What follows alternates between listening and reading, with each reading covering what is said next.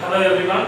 In this video, I am going to talk about the three primary electronic components like resistor, capacitor and inductor. Now let me start from the resistor.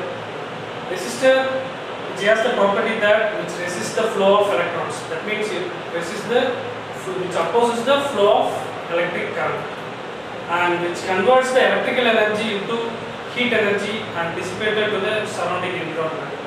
The resistor can be graphically represented as like that and which is denoted by R whose unit is. And uh, the resistor can also be explained by Ohm's law that is R is equal to V by I which means that the resistor is inversely proportional to the flow of current. So both of them exactly opposite. There are many types of resistors available in the market. That is wire wound resistor, carbon composite resistor, metal film resistor, carbon film resistors. Carbon is the leading material which is highly used in the resistor because of its high resistivity as compared to the nickel chromium and the other materials. The electronic component is a capacitor which has the property that it stores the energy in the form of electric charge which is made of two plates. Both of them are uh, separated by the dielectric materials like glass, uh, mica or uh, dry air or plastic to store the electric charge and which is graphically represented as this is a non-polarized capacitor. This is a symbol of polarized capacitor and here it is a symbol of variable capacitor.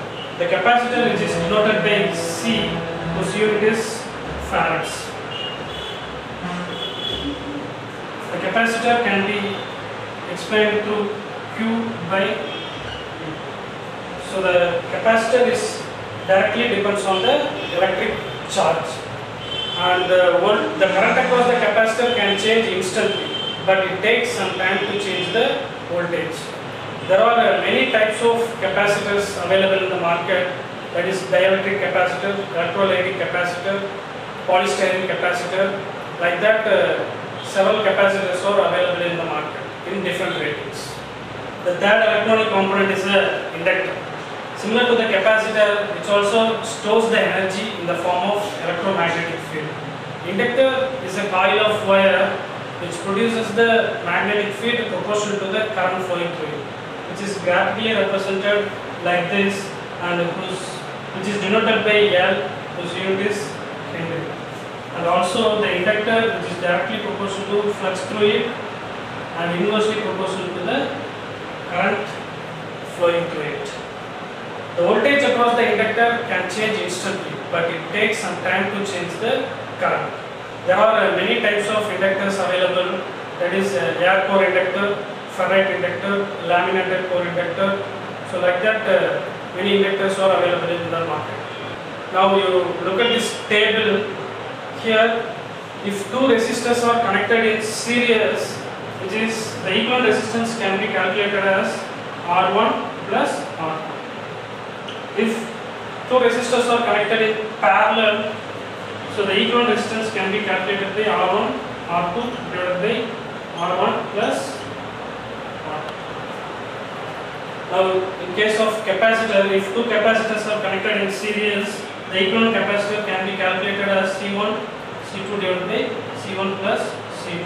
If it is parallel, we can simply add the two capacitors, C1 plus C2. Now in inductor, if two inductors are in series, we can simply add the two inductors to find the equivalent inductance. If it is parallel, L1, L2 divided by L1 plus L2. Now you look at the second table. Here the voltage across the resistor is V is equal to I into R which is derived from the Ohm's law.